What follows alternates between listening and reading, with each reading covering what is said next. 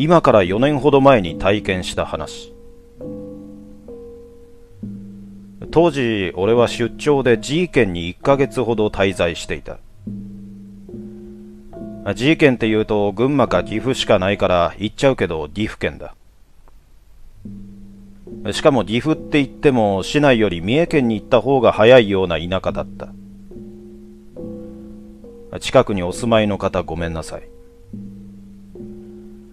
田舎って言っても駅周辺はカラオケやキャバクラ等の娯楽施設があったし退屈はしなかった。仕事は出張だから残業もなく定時に帰れた。初めのうちは知り合いもいないからまっすぐビジネスホテルに帰ってたんだけど人恋しくてあるバーに立ち寄った。そのバーはマスターが一人で切り盛りしててカウンターが5席にテーブルが2席ほどの小さい店だった。マスターは坂口健二をさらに男臭くして年を重ねたって風貌の人だった。話もうまくて知り合いもいない土地に来ていた俺はいつしか仕事帰り毎日寄るようになった。一週間も連続で通うと常連のお客さんとも顔なじみになりくだらない話で盛り上がった。特に仲良くなったのはたかしさんと呼ばれる40歳前の方とさあちゃんと呼ばれるアジアン美人の女の子だった。たかしさんとさあちゃんも仲が良かったのでマスターを交えた4人でいつも閉店まで盛り上がった。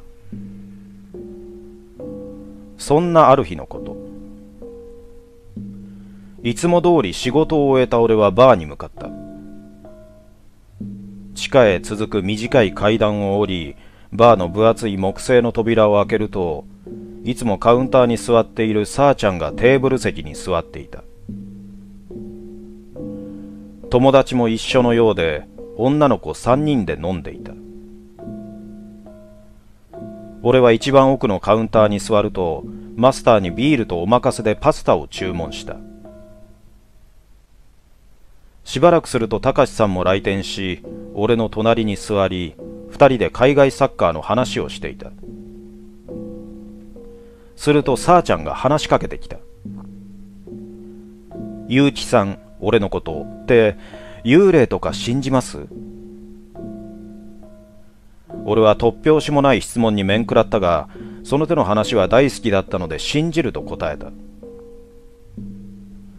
なぜかほろ酔いのたかしさんも幽霊は絶対にいると主張しだした。マスターまで話に乗ってきて話題は怖い話になった。それぞれ体験談を一通り話すとそのままの流れで肝試しに行こうということになった。一番乗り気だったのはマスターで店を早く閉めると言い出した。その後皆でマスターの閉店作業を手伝って日付が変わる前には店を出た。ここでさあちゃんの友達二人を紹介しておく。一人目は純ちゃん。細身で身長も高く長い黒髪が印象的な子だ。二人目はさやちゃん。小柄でボブがよく似合う女の子らしい子だ。俺は女性三人には申し訳ないが心の中で品定めなんかをしていた。結局俺の心はアジアンビューティーなさーちゃんを選んでいたんだけど。女性3人と俺とたかしさんとマスターの6人で駅前の繁華街を歩きマスターの車が止めてある駐車場に向かった。その時シラフだったのはマスターだけだったので当然ドライバーはマスターになったってわけだ。マスターの車は有名なドイツのワゴン車だった。案外バーって儲かるんだなって思ったのを覚えてる。運転席にはマスター。助手席には純ちゃんが座った。2列目にはたかしさんとさやちゃん。俺は当然のようにさあちゃんと最後部に座った。目的地は通称川崎村と呼ばれる廃村地。何でも明治から昭和にかけての時期に廃村になった村らしく今でも当時の民家等が一応残ってるらしい。もっぱら建物はボロボロらしいけど。俺は地元じゃないので川崎村のことは全く知らなかったけど意外だったのは地元民である他の5人も話を聞いたことあるレベルで実際行った者はいなかった。要するに地元でもそんなに有名なスポットではないってことだ。かろうじて最年長のマスターが川崎村までの行き方を知っていた。どうもここから車で山に向かって1時間くらい走らせるらしい。さらには途中で車が行き来できない道になるためそこからは徒歩で行くしかないと聞かされた。俺は歩きと聞いてテンション下がったけど他の5人はそうではない様子で陽気に鼻歌なんか歌っていた。途中隆さんが催したのでコンビニに寄った。ついでなのでそこで飲み物やらライトやらを買った。街を背に田園を抜けて両手に広がる景色は山ばかりになった。ちょうど山と山を縫うように通る県道をひた走る。さらに県道を進んで目印とされる潰れたドライブインで右折した。そこからは本当の山道でかろうじて舗装はされているがアスファルトがところどころめくれていて凸凹道だった。さらに車を走らせるといよいよ舗装もされていない砂利道に変わった。砂利道を進むと不自然な広場に出た。広場から先は黒と黄色のロープが張ってありロープには看板がぶら下げてあった。土砂崩れ注意。立ち入り禁止。〇〇市役所。ここから先は情報通り徒歩で行くしかないようだ。ロープをまたぎ6人は細い砂利道を慎重に進む。月明かりも木々に遮られて視界は非常に悪い。しかも膝上まで伸びきった草のせいで歩きにくい。それだけで十分心霊スポットとして合格だった。ただ雰囲気はあるもののその時はまだ嫌な感じとかはしていなかった。どんどん草をかき分けて進むとまたちょっとした広場に出た。その広場は捨てられた家電製品やタイヤの残骸が山のように積まれていた。おそらく不法投棄だろう。そしてその広場を抜けるとさらに細い獣道になった道を間違ったんじゃないかと女性陣は口々に言っていたがマスターが言うには間違いないらしい。というか、この道らしき道を進む以外はうっそうとした木々が邪魔をして歩けるスペースなんかなかった。15分ほど獣道を進んだだろうか。ふと先頭を歩いていたマスターが立ち止まった。それにつられるように全員歩を止める。マスターの目線の先には大きな石碑が2つ並んでいた並ぶと言っても石碑と石碑の間には車2台がすれ違えるほどの間隔があったちょうど石碑と石碑の間が門のように見えた東大寺の金剛力士像を思い出すとイメージしやすいかも。右側の石碑は全体的に四角い感じで大きさで言えばお墓程度のもの。年月が経ちすぎてて石に苔がびっしりついていた。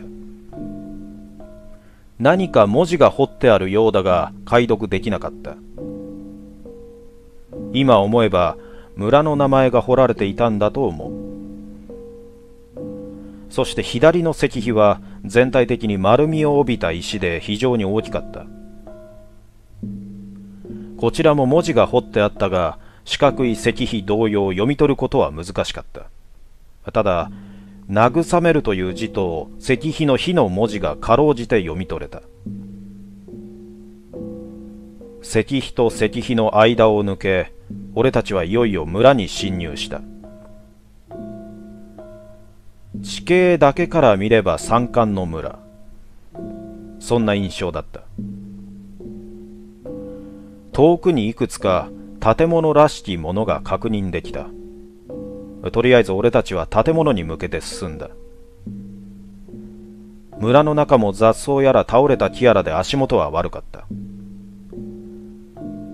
建物に近づくにつれ、それが潰れた廃墟だと分かった。ざっと見た感じ、廃墟は20個くらいあった。全部木造の平屋建てで時代劇に出てくるような長屋をイメージしてもらうと分かりやすいだろう。そのほとんどが倒壊しており、柱や梁がむき出しになっていた。俺たちは比較的傾いていない建物内に入ることにした。おそらく玄関の引き戸だったであろうものを外して中に侵入した。玄関は土間になっていて、そこから一段高くなって畳が敷いてあった。ただ畳もボロボロに腐っていて、床にはところどころ穴が開いていた。俺たちはつまずかないように慎重に民家内を捜索した。特に変わったものはなかったが、明治時代に廃村になったとは本当のようで、電化製品の残骸はおろか、照明設備がないことがそれを証明するようだった。あの時代はランプやろうそくで照らしていたんだなとしみじみ思った。あれこれ探し終わり、俺たちはその民家を出た。そしてそこからなるべく入りやすそうな民家を3、4軒見て回った。以前にも肝試し客が訪れた痕跡、ジュースの缶等があったけど、ここ数十年は誰も来ていないようだった。なんせ、見たことないメーカーのジュースの缶だったし。ペットボトルなんかもなかったしね。一通り見終えて、俺たちは一服することにした。思ったより怖くないなど口々に言いながらタバコをふかしていると、民家の裏の丘の方からおえつというか動物の鳴き声というか説明しにくい声が聞こえた。それは全員聞こえていたようで皆一斉に丘の方を見た。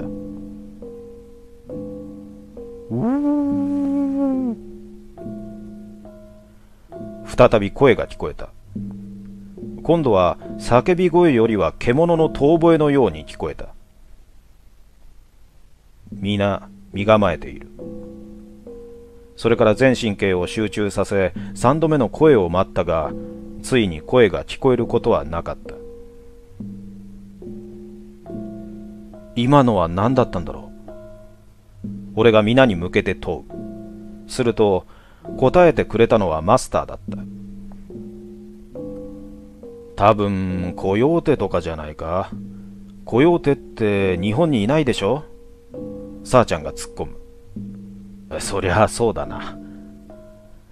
マスターが恥ずかしそうにはにかんだ笑顔を見せる。一同が笑いの渦に包まれた。ねえ、さっきの声が聞こえた方を見に行ってみない？さやちゃんが提案する。みんな動物だと思ってたんで、この時点で反対する者はいなかった。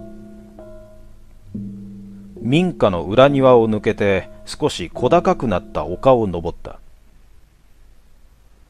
下からではよく見えていなかったが、丘を抜けるとそこはだだっ広い草原になっていた。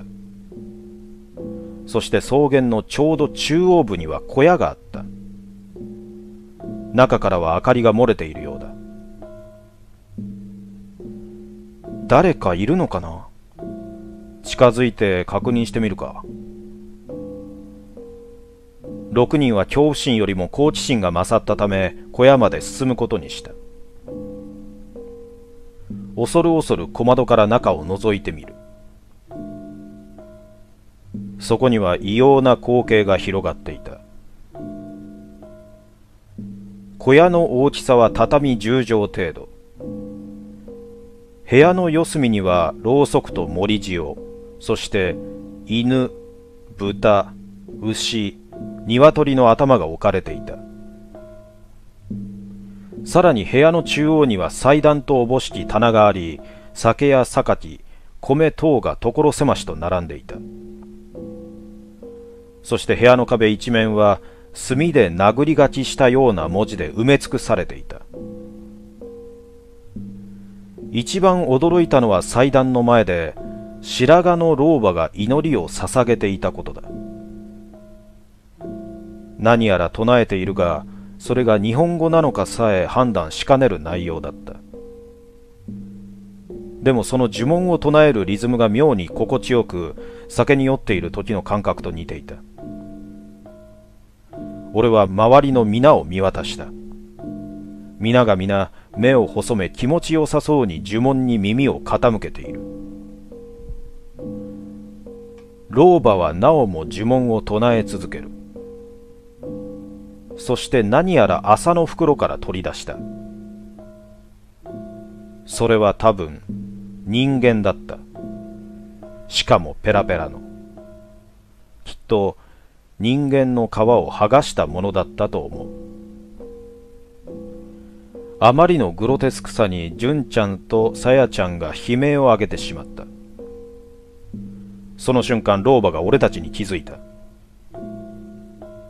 見たな俺にはそう聞こえたそして老婆は次の瞬間四つん這いになって俺たちの方にかけてきたそうまるで犬のように俺たちは一目散で小屋から離れ丘を下った。周りの心配をしている余裕はなかった。ただ、叫び声や走る音で全員ついてきていると分かった。倒壊した集落を背に、石碑の広場まで一気に走り抜けた。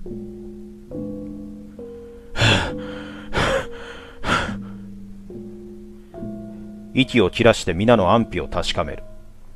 どうやら全員逃げ切ったみたいだ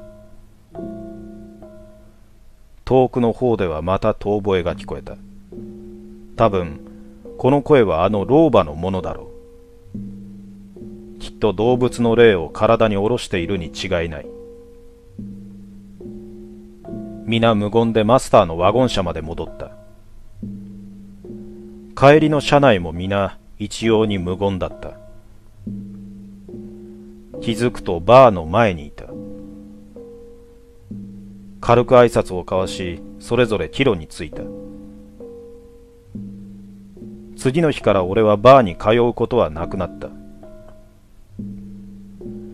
そのまま出張の1ヶ月を終えて地元に帰った。地元に帰ってから半年が過ぎようやくあの老婆のことを思い出すこともなくなった。それまでは時折夢にまで出てきやがったんだ。そんなある日俺の携帯が鳴った。さあちゃんからだった。もしもし俺が恐る恐る出る結城さん久しぶりさあちゃんは当たり前だけど半年前と変わらない声をしていたもし暇があったら少し話がしたいの。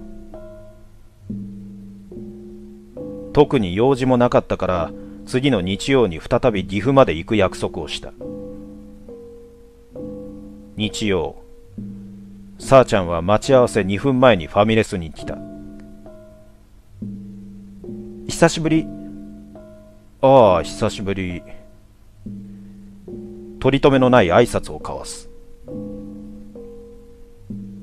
今日、ゆうきさんを呼んだのはね、さあちゃんが切り出した。実はあの後、たかしさんやマスターたちに連絡が取れなくなって、どうやらあの一件から、たかしさんやマスターと音信不通になってしまったらしい。マスターはバーも閉店させていた。風の噂では田舎に帰ったらしい。たかしさんに至ってはまるで消息がつかめないというのだ。さあちゃんは続ける。だから私、あの村のことを自分なりに調べたの。そう言って俺に一冊のファイルを手渡した。ファイルには次のようなことが書いてあった。川崎村、かっこ川を裂く村。昭和2年廃村。江戸時代中期から明治初期にかけては、革製品を主な収入源とした人々が暮らしていた。村の人口は総勢で約100人ほど。いわゆる被差別地域。外界との交流はほとんどなく、農耕や狩猟でほぼ自給自足の生活をしていた。明治初期には村の人口が20名を切り、昭和2年、最後の村人数名が隣の村に移ったため廃村。ここまで来てピンときた。